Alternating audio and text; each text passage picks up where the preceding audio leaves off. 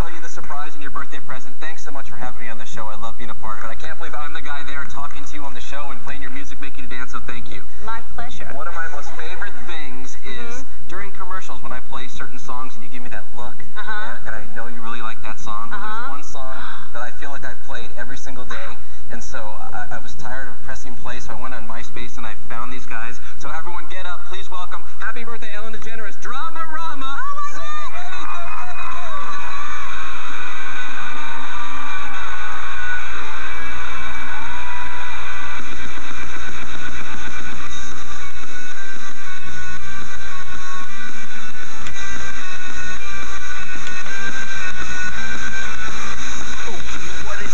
high.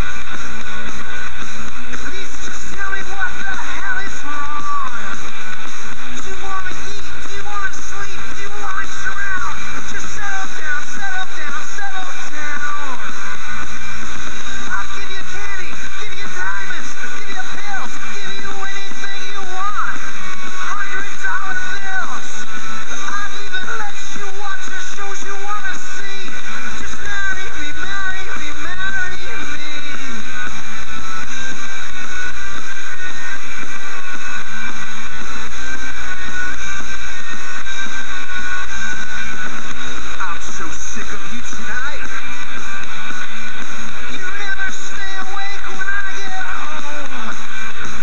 something wrong with me.